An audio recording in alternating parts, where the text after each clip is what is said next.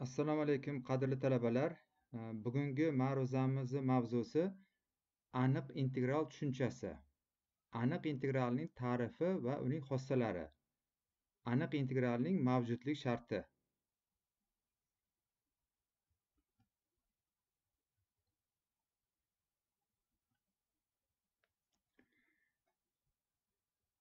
Aniq integral tushunchasiga amaliyotdagi muayyan bir masala olib keladi.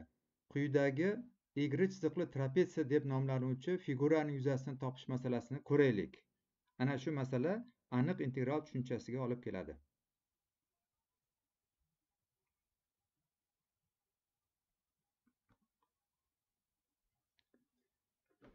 Bu figura yuqoridan manfiy bo'lmagan y barobar fx funksiya grafigi bilan quyidan ox o'qi yon tomonlardan x barobar a va x barobar b to'g'ri chiziqlar bilan chegaralangan. Bu egritstol trapetsiya yuzasini topish uchun AB oraliqni a barobar x0, x1 va hokazo xm barobar b nuqtalar bilan kichik oraliqchalarga bo'lamiz.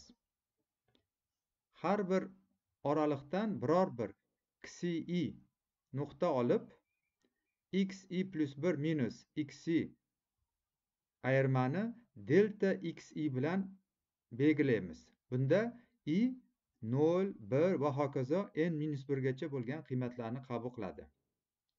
Hamda quyidagi ko'rinishdagi birinchi yig'indini tuzib olamiz.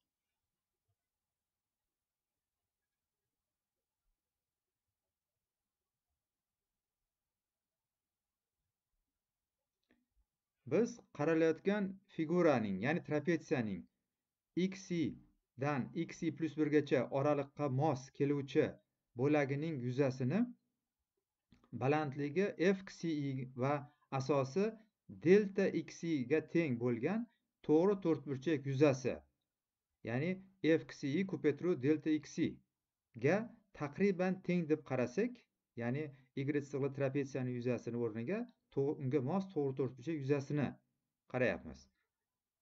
U holda yuqoridagi yig'indi, ya'ni birinchi yig'indimiz ni biz egri chiziqli trapesiya yuzasini taqribiy qiymati deb qarashimiz mumkin.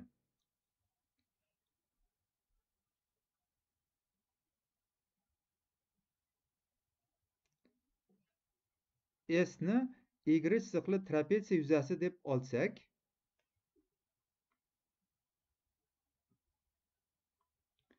U holda quyidagi taqribiy tenglikka ega bo'lamiz.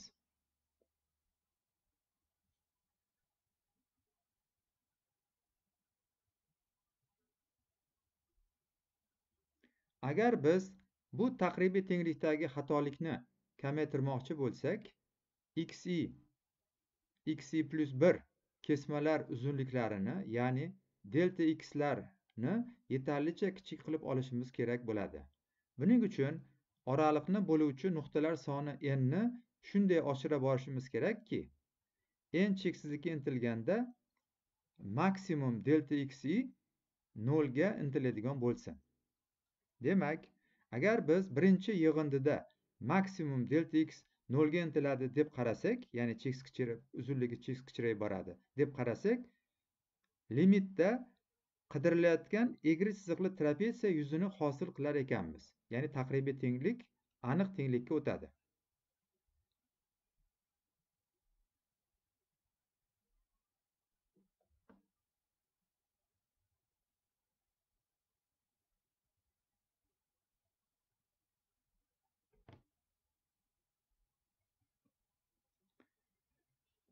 Shunday qilib endi e, egri chiziqli trapetsiya yuzini topish masalasidan e, bugungi aniq integral e, tushunchasiga o'tamiz.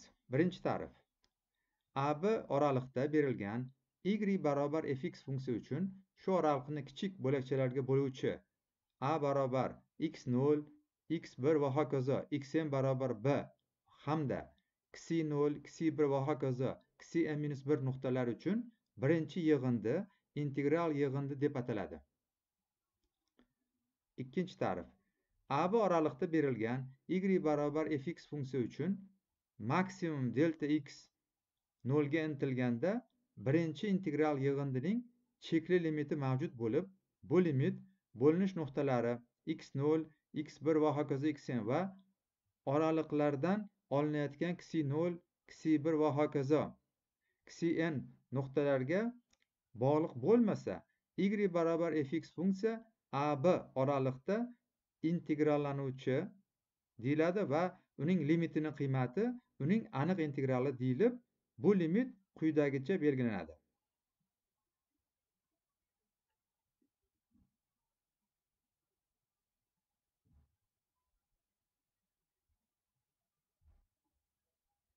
Bu yerda fx integral ostidagi funksiya fx dx integral ostidagi ifoda a integralni quyi chegarasi b integralning yuqori chegarasi deyiladi.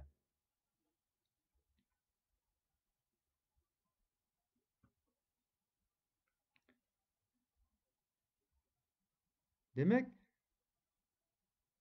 fx funksiyadan ab oraliq bo'yicha aniq integral qiymatini topish fx funksiyani ab oraliqda integrallash deb ataladi.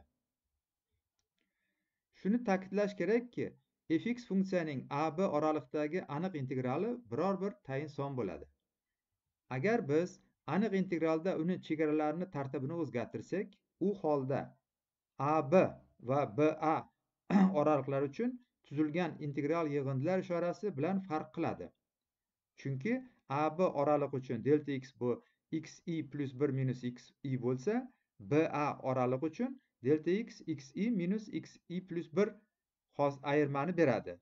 Ular bir biridan ishora bilan farq qiladi. Shuning uchun shuning uchun a dan bgacha fxning aniq integrali e, b dan a agacha shu funksiyani aniq integralini teskari ishorasiga teng bo'ladi.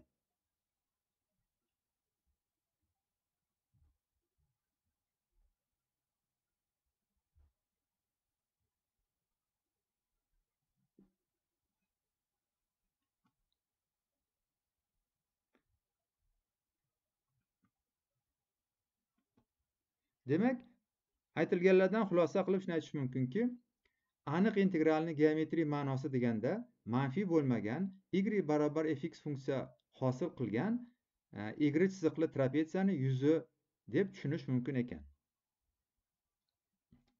Endi aniq integralni e, mavjudligi shartlarini qarab chiqamiz. Dastlab e, aniq integral mavjudligini yetarli shartini ko'ramiz. Bu yerda quyidagi teoremani ko'rish mumkin. Agar y barobar fx funksiya ab kesmada uzluksiz bo'lsa bu funksiya shu kesmada integrallanuvchi bo'ladi. Bu ya'ni mavjud aniq integral mavjudini yetarli shartidir. Shuningdek aniq integral mavjudligining zaruriy sharti ham mavjud. Agarda y barobar fx funksiya ab kesmada integrallanuvchi bo'lsa u holda bu funksiya shu kesmada chegaralangan bo'ladi.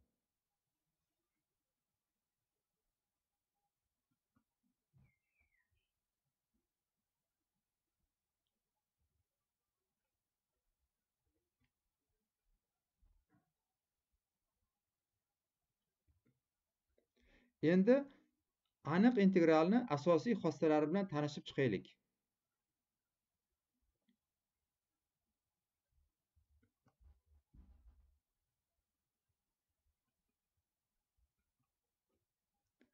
Birinchi xossasi istalgan o'zgarmas k soni uchun e, quyidagi munosabat o'rinli bo'ladi.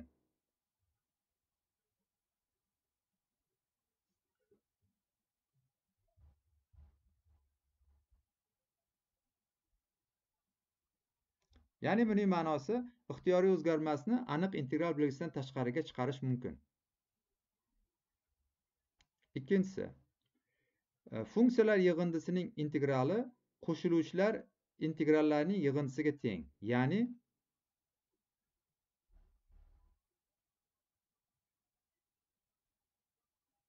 mana bu formula o'rinli bo'ladi.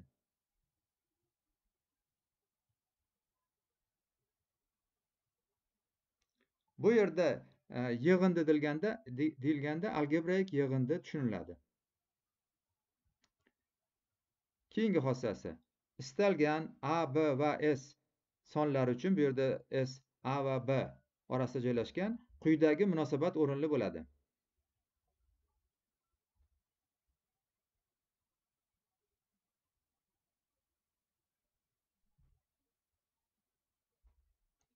Umuman aytganda s ixtiyoriy nuqta bo'lganda ham bu munosabat o'rinli bo'ladi.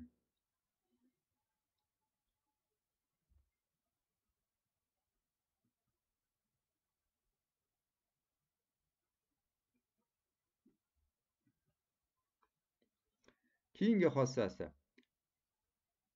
agarda a kichkina b bo'lib ab oraliqda fx funksiya gx funksiyadan katta bo'lmasa ya'ni fx kichik yoki teng gx tengsizlik o'rinli bo'lsa u holda ularning aniq integrallari uchun quyidagi munosabat o'rinli bo'ladi.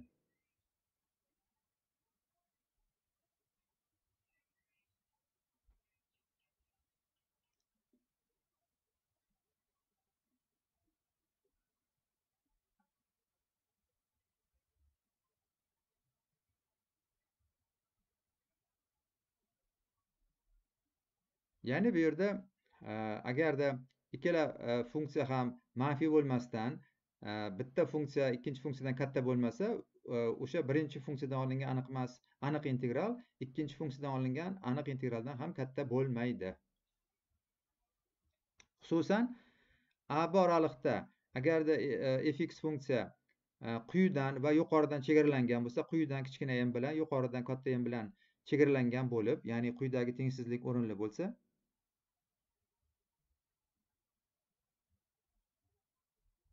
u holda fx funksiyadan ab oraliq bo'yicha olingan aniq integral uchun quyidagi munosabat o'rinli bo'ladi.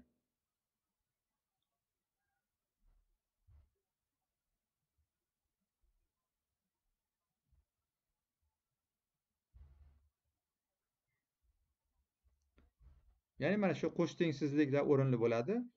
Bu xossalar isboti to'g'ridan to'g'ri aniq integral ta'rifidan kelib chiqadi.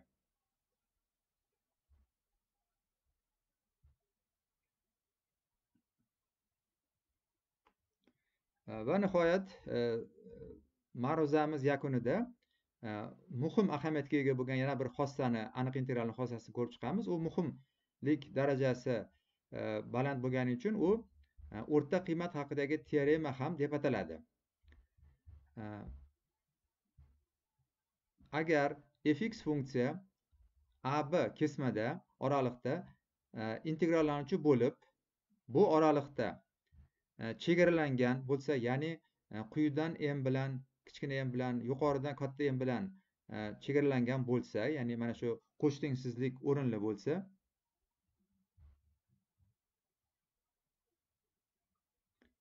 u holda shunday mu son mavjudki uning uchun quyidagi tengsizlik o'rinli bo'ladi.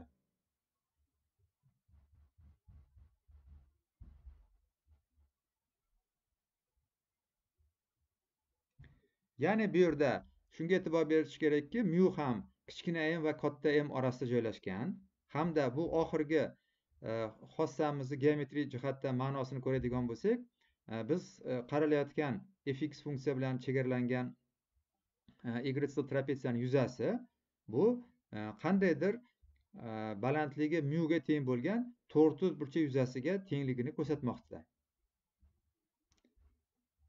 E'tiborlaring uchun rahmat.